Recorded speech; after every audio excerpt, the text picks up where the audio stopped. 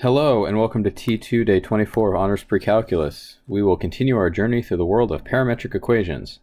So find the parameterization of a line segment between these two points. Remember, I want the first point to be at time equals 0, to be there when time equals 0, and time equals 1 here. You theoretically can do it with any times, but that's what I want. You might remember that this means that x and y are going to be in terms of t, and at the beginning point when t is 0, it needs to be negative 4 for x and negative 5 for y. Now, to go from this point to the next, we'll call that point A and this point B. To go from one point to the next, what's happening? Well, the vector you travel on, it goes from negative 4 to 2, so it's going to go up 6 over 6 to the right 6, and from negative 5 to 3, so that's going to be 8. So 6 and 8. What that means, it's going to be plus 6t and plus 8t. You can test to see if this works by taking t equals 0. When you plug t equals 0 here, you end up with negative 4, 5, negative 5. But then when t is equal to 1, you, you add 6 and 8. So what are you going to get? 2 and 3, which is exactly where you want to be. So remember, this 6 is the distance, the x distance from A to B. That's where that 6 comes from, and this 8 is right there. So what it means to eliminate the parameter is to get rid of the t. And you can do this with substitution. x is equal to 3t, so that means that t is equal to x over 3. You can then take this value right here and plug it in right there. So you end up with y is equal to negative 2 times x over 3 squared minus 1. And you can simplify this a little bit and you end up with negative 2 x squared over 9 minus 1 so what is that? Negative 2 ninths x squared minus 1.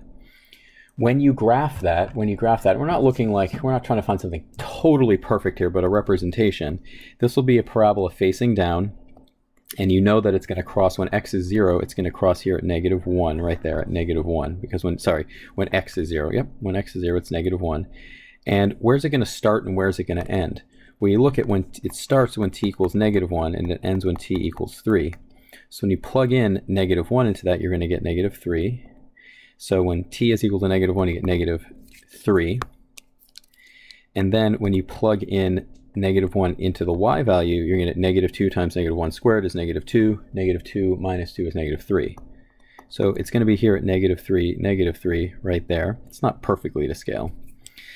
So at t equals negative 1, it's at the point negative 3, negative 3.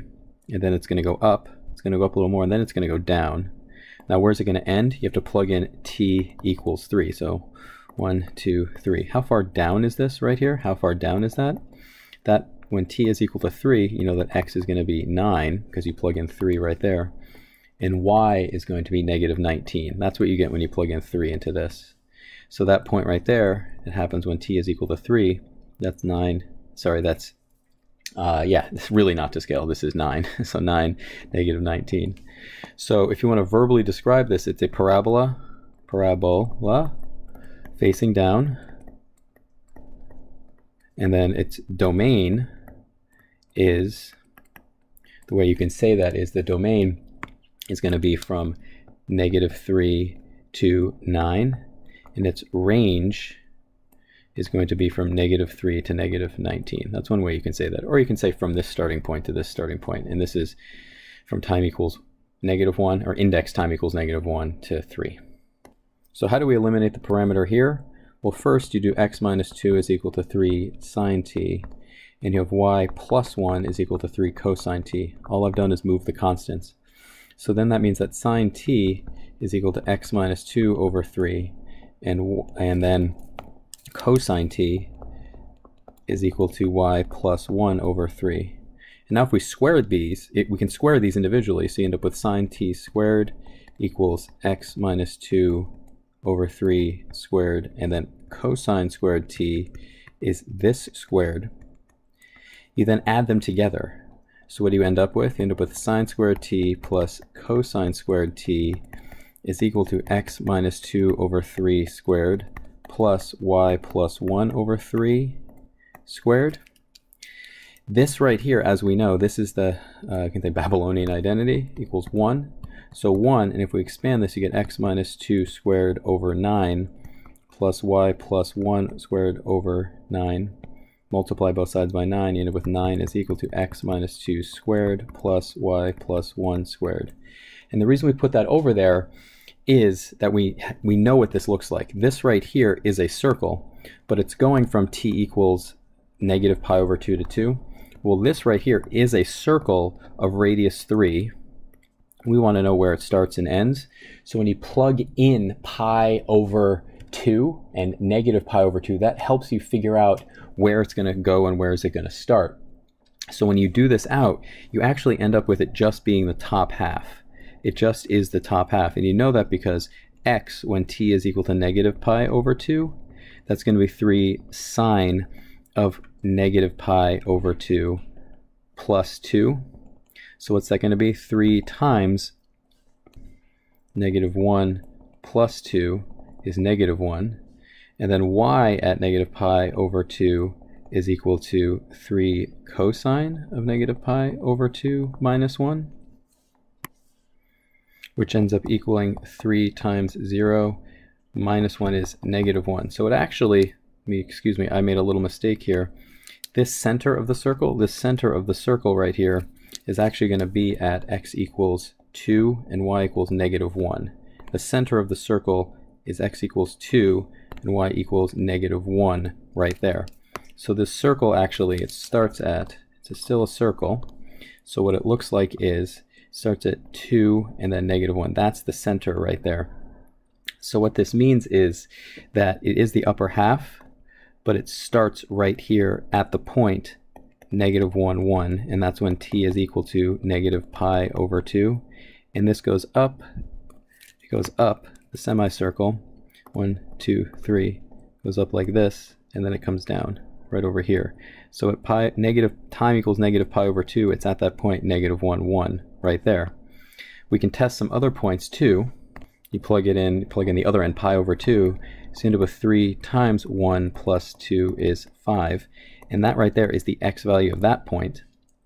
And then y pi over 2 is going to be 3 cosine pi over 2 minus 1.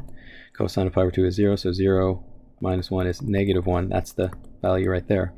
So then you could put in the middle point here, what's halfway between negative pi over 2 and pi over 2? That's when t is equal to 0. So try that. You could plug in t equals equal to 0, and then you're going to see that it's going to go, it, the path it travels on is the upper half of this circle. And in written form, it would look like this. Upper half of a circle of radius 3 centered at 2, negative 1.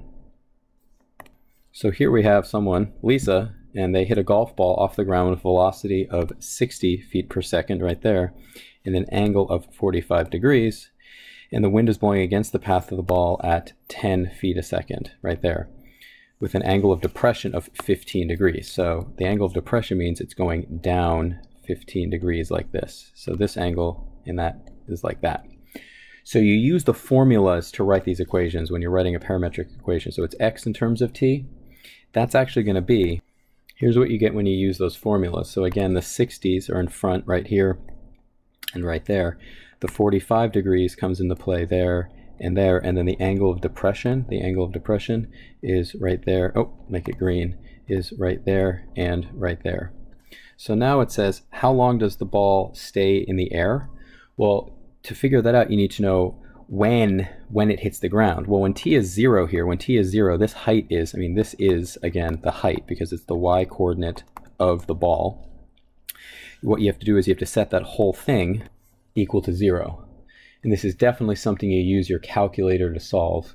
What's nice is you can factor out a t and then divide, but you need a calculator. And when you use a calculator, you end up with t is equal to 2.490 seconds right there. But you need a calculator for this. Very hard to do without it. And then how far, that's the x coordinate. So it's the x coordinate when the time is 2.490. So you're plugging 2.490 into the x coordinate, which is right there. When you plug it in, you end up with 81.590 feet. So use the formulas carefully and use your calculator and make sure you round to three decimal places.